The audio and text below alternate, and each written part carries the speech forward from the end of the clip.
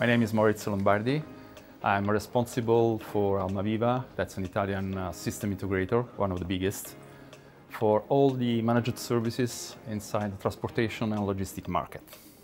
We started with this critical and very complex project more or less 18 months ago for uh, a customer. I can say that's the biggest uh, infrastructure management company for uh, uh, railways in Italy.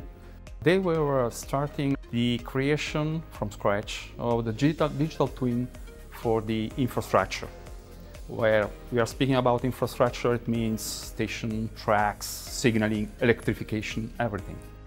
The idea is try to consolidate all this type of information, spread it over tens different tons of different databases, different technologies, different data for all the critical application that needs to work with infrastructure from maintenance to diagnostics to normal circulation to manage or prevent incidents after a long debating, analyzing the market, and uh, Nutanix was the choice at that time.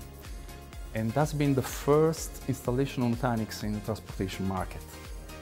Today, it manages uh, the full data certification process, starting from the data acquisition that comes through a very long and complex process, validate the data, and then it has to be certified by the military agency, and then those data is sent to the production system.